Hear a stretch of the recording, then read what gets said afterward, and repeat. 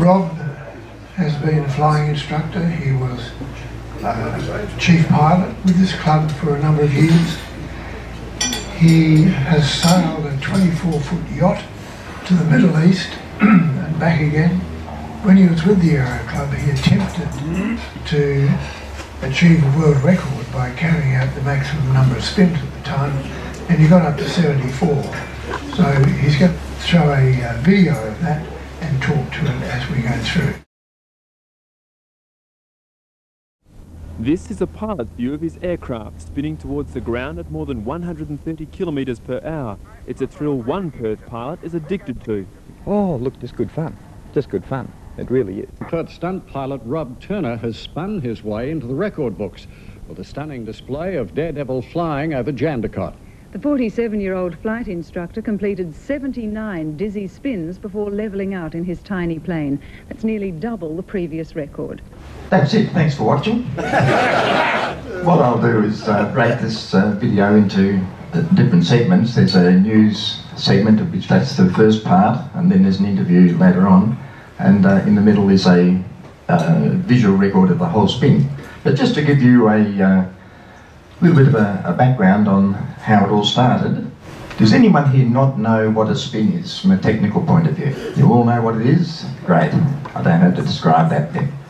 Uh, a little bit closer to the end of the talk then. I was a senior instructor here at the club. I was uh, chief pilot at the time, and John Douglas uh, had always encouraged aerobatics within the club and uh, was very, very keen on making sure that people were quite familiar with spinning and stalling and uh, no more so than me as uh, the person who was charged with running the instructor training school.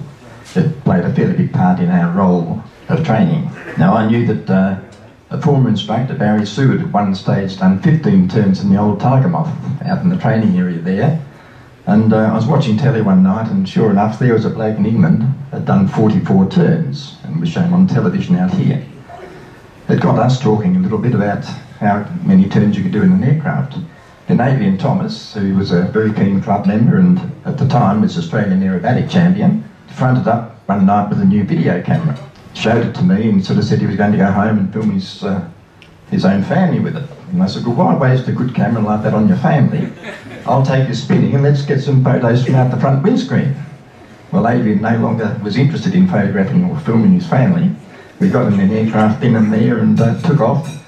And uh, I flew and Adrian clung on for dear life with a camera up in front of his eyes, filming out the front of the window.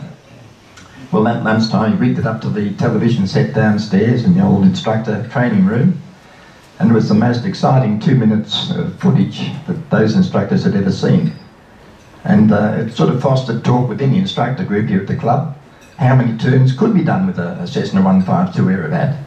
And uh, we thought we'd have a little experiment and see.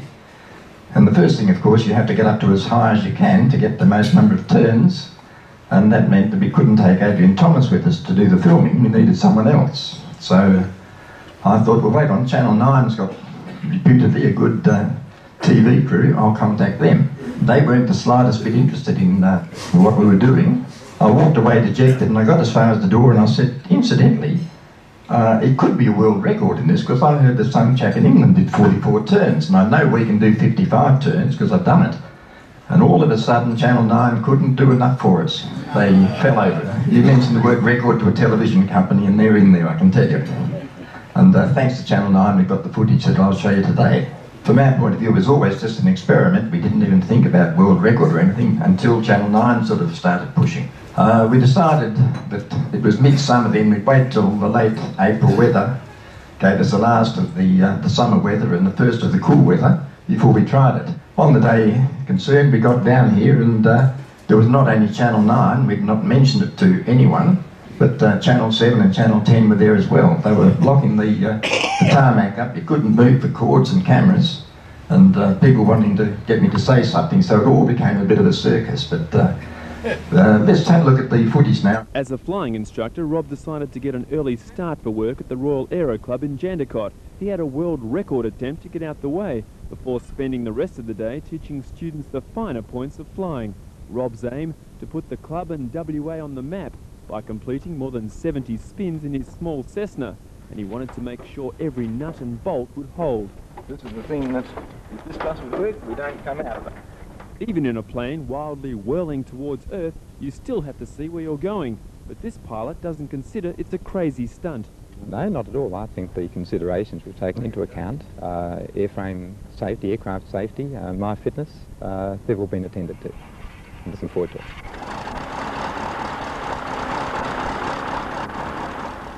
The aircraft is a Cessna 152 Aerobat, specially built for this type of punishment, and so's the pilot, with more than 25 years experience.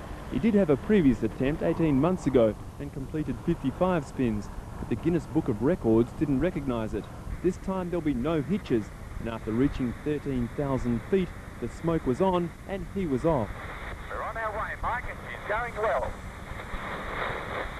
Locking in beautifully, very, very stable. Just passing 11 and a half now. Going to try and wind her up a little bit though. Get some speed into that spin. From inside the cockpit, the death-defying dive is terrifying. The plane literally falling out of the sky with its engine shut down. Stabilising nicely into the spin. She's locked in very nicely, approaching 3,000. With the ground rapidly drawing near, the news came through he'd completed 79 spins, smashing a previous record of 44 to the obvious pleasure of the ground crew. A few minutes later, the aircraft was down safely, not too worse for wear, and a new record holder clambered out. what a buzz. Very, very pleased with it, yes. Uh, deep down I was thinking if I can do 65 or more, I'll be very, very pleased. But 79, oh, crikey. You know, I'll be right into Guinness Book of Records tonight, I think. As for another record attempt, Rob says that's for the birds.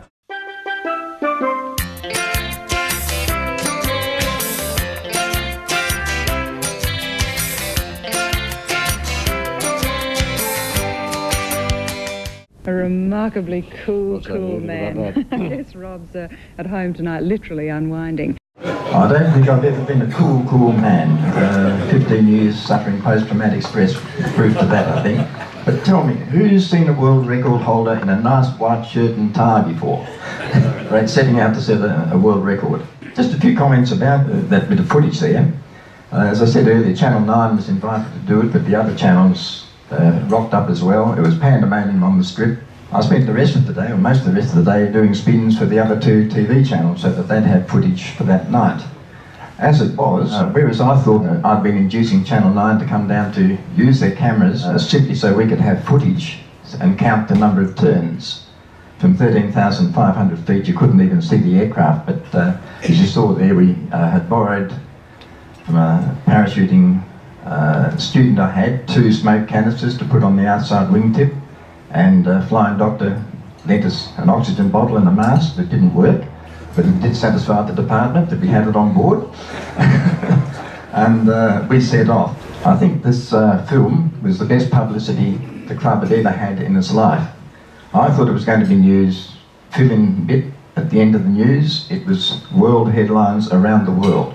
It not only was headlines here in Perth, it was shown nationally on every TV station, uh, commercial station I should say.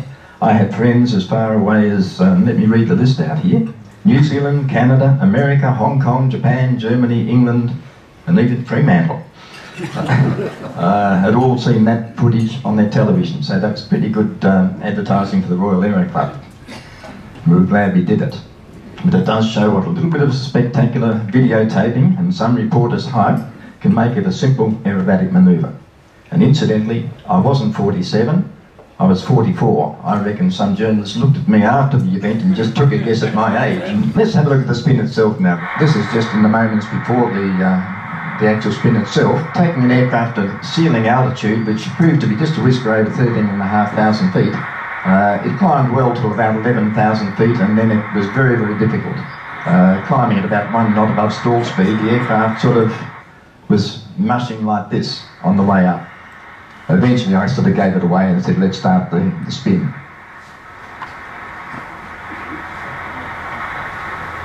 There's nothing to do during the spin, you just hold on full rudder and full backstick and just sit there and enjoy the ride. Uh, it looks spectacular, but from inside really is just another thing. We're on our way, Mike, and she's going well. Locking in beautifully, very, very stable. Just passing 11 and a half now. Going to try and wind her up a little bit though. Get some speed into that spin. Passing 11,000. Going nicely. She's really winding up. Backing that aileron off gently. Well and truly in it. And I've just lost... No, I thought I was losing the engine. There goes the engine. Engine stopped. No power now. Just coming up on 11, on uh, 9,000 feet. Trying to get a bit of speed into that rotation. Going very nicely. Eight and a half thousand. I believe in the last war, pilots coming back from their sorties used to do victory rolls when they shot someone or killed someone. I did one there because I wasn't dead. Rob, obviously done in the days before GoPros, did you have somebody with you filming? No. Oh, right. No, uh, I was just about to say, Cam- Channel 9 put one of the, in fact, their very first use of those mini cameras uh, was on this day when they taped it up to the back of the uh, cockpit. And uh, they had the big zoom lens on their tripod on the ground, which was the only camera I thought they were going to come down with, so they could uh, accurately film the number of turns. But as you saw there, someone tripped over the tripod, and uh, if it hadn't been for that inside camera, we wouldn't have been able to accurately count the number of turns we did. This next one is just a uh, interview with a Channel 9 Wide World of Sport on the following Saturday afternoon. You know, it never ceases to amaze me how many different ways the thrill seekers of the world have found a way to drop out of the sky. And this week in Perth, we found a new way, thanks to 47-year-old Rob Turner, chief flying instructor at the Royal Aero Club in WA. Welcome, Rob, and I want to know, has business been brisk this week after seeing that Wednesday spiral? It certainly has, Ken. Really has. It was an amazing feat, I must say. Uh, seeing it there, I, I felt as if I had to go for the brown paper bag at one stage, but you were so calm about the whole deal. I guess it's all in the day's work to the type of work that I do, Ken. Uh, just another thing. I couldn't believe, I mean, you had to go to, what, 14,000 feet, and it took you something like, what, an hour and a half to do that?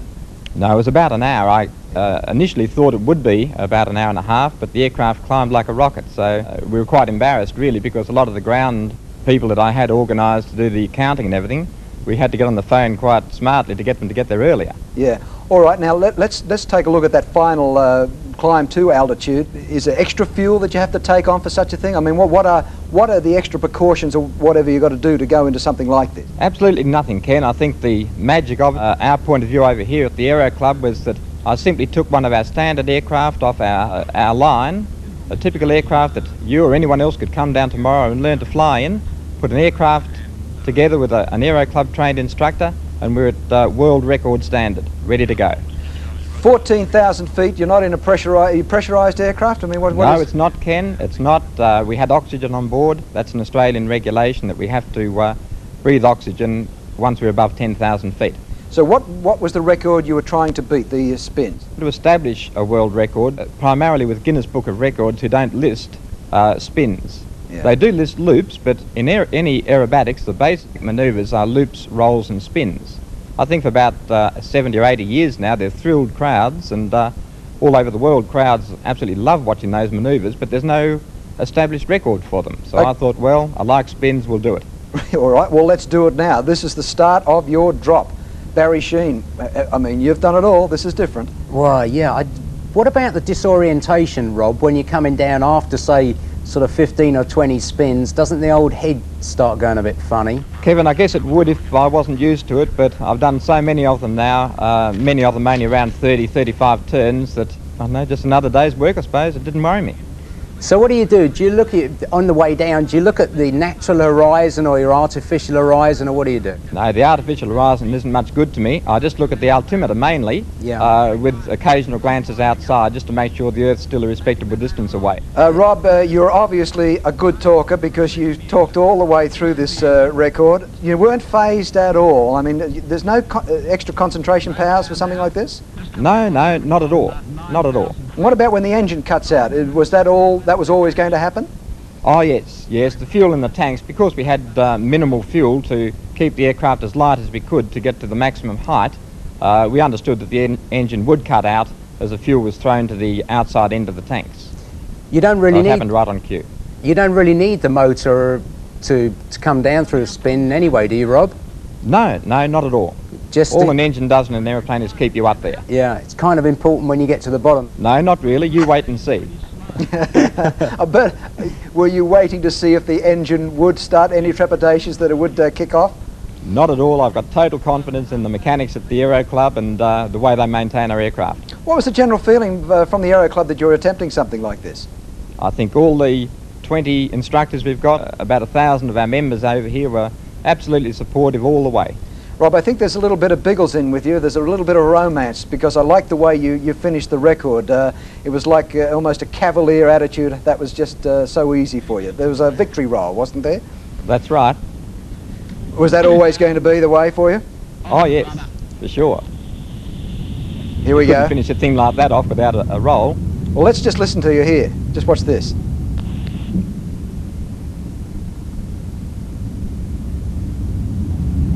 And a little something to finish. Well done, Rob. I tell you what, um, I, I admire your skill, but I don't want to travel with you. I'm disappointed. Now, well, actually, I've been in a lot of aircraft, but I've uh, and tried most things. But that that sort of thing is uh, uh, something that really does leave you quite squeezy. And uh, Barry was looking at that, and you, you you've you've lost your suntan, son. Yeah. Well, I, I should imagine you'd have real trouble finding the little brown paper bag in the back of the seat when you get to the bottom. no, I wouldn't fancy that. Did anyone uh, want to go with you at all, uh, Rob? Was anyone there at all with you? No partners uh, uh, at all in the Oh no, I was cockpit? on mine in the aircraft, but as I say, uh, I did about four hours of uh, spins uh, later on in the day. What was what was the total length of the, the spins? What time did it take? Yeah. Two and a quarter minutes coming down, a rate of descent almost 5,000 feet a minute, which equalled out at one turn every 155 feet of descent. W- A marvelous little plane then. We reckon they're pretty good. No, no. Uh, I mean, does the aircraft go anything stressful or extra? Was there any strength in the extra strength in that aircraft nothing at at all. Nothing at all. All we did was put some smoke canisters on the wingtip so that it could be seen from the high altitude. What has been the reaction from the uh, people in aviation to it? As I said earlier, I think they're absolutely wrapped in it. They've been very supportive, and I think uh, within 12 months the club will have an, a membership of 500 people more. And what about the Guinness Book of Records? They're, they're going to acknowledge it? I hope they will. Uh, Have they been on the talking to you, phone calls or whatever? Yes, I've been speaking with them. It's very, very hard to get a new record established with them, but uh, I think we're pushing very hard and we will get that established. Well, well done, Rob. Um, as I said, I hope business was brisk for you. I thought it might have uh, gone off a little bit over the last seven days, but you tell me people have still got a bit of daredevil in them, uh, obviously. I think so. Good on you, mate. Well, well done. Thanks very much for joining us this afternoon. Thanks very much, Ken. Don't believe everything you hear on television. uh, no one in the Aero Club except a few instructors and John Douglas knew I was going to do it. Um, just a few comments there to finish off with. Uh, the Guinness people didn't put it in their book. They said it was too dangerous and they didn't want to encourage other people to attempt it. Uh, blimey. Something is a mandatory procedure to getting a pilot licence and they reckon it's too dangerous, eh? So be it. Well, that record stood for 16 years until someone in America did 80-something turns in a more powerful decathlon aircraft. And we have to talk about CASA, or whatever their name was back in those days, and their attitude to it. Two days prior to the spin being taking place, the hierarchy in Perth ordered Adrian Lambourne, who was then a uh, examiner of airmen with them, to phone me and to plead on their behalf for the spin to be uh, cancelled. Unfortunately, unknowingly to them, they'd chosen the wrong man to do the telephoning because Adrian Lambourne happened to be the examiner of airmen that was my mentor all through my uh, advancing time here in the Aero Club, and he was right behind me. He couldn't have been more supportive, and here he is on one hand saying loudly into the phone, Rob, they want you to cancel it, please don't do it. And then he'd say, Rob, don't, don't take any notice of what I'm saying. Don't take any notice of what I'm saying. Ten minutes later, uh, after I declined to uh, cancel it, he was back on the phone saying they won't accept your answer. Please cancel. And again, he was going through the antics of saying, don't cancel it, don't cancel it. And uh, we went ahead. I really thought they might have tried to stop the uh, airways clearance coming through to operate uh, overhead Jandakot. Someone in air traffic control told me that they tried to, but uh, they had no authority to do that, and uh, air traffic control took no notice of it. Air traffic control, incidentally, incidentally, were very, very good. They gave me an open clearance to operate where I wanted. We did the spin just to the south of the field here on the uh, the southern end of the uh, uh, circuit area, just where all those earthworks are taking place there, and was close enough to uh, get near the camera so they could get a good view. And Jandakot Tower organised for me to enter their zone from overhead without radio contact until I had finished the spin, and they kept the traffic up to the northern end of the field. There's only one other thing to mention of it, uh, the spin actually. Uh, in the closing days of the last century, 2000, uh, but somewhere between Boxing Day and New Year, a friend of mine rang me and said, I saw you on television last night, Rob. And I said, I wasn't on television last night. What for? And he said, oh, you were doing a spin. He said, anyway, I've taped it, you can have a look at it. And he came around and showed me this old videotape of the 20 most dangerous stunts of the 20th century. There's Evel Knievel trying to jump the Grand Canyon on his motorbike. He got first, and the second up behind him was Rob Turner trying to do the spin. Well, if that's a dangerous manoeuvre, I reckon television's got it all wrong, and it just shows what they will do for uh, a, bit of uh, airtime. They certainly used me to the maximum. Uh, if I'd known what I know now, I would have charged them $10,000 for that footage and they would have made a lot of money out of it, and so would the Aero Club. Really, it's all about nothing. You know, they, they use terms and words, and making a big thing out of absolutely nothing. But these days, it is nothing. My young grandson was watching me prepare this footage for today's talk, and he sat down and watched. I said, What did you think of that? He said, Grandad, you're just a legend in your own lunchbox. It's been 30 years now, and look, I still enjoy watching that bit of footage. I like it. I hope you have too. Thank you.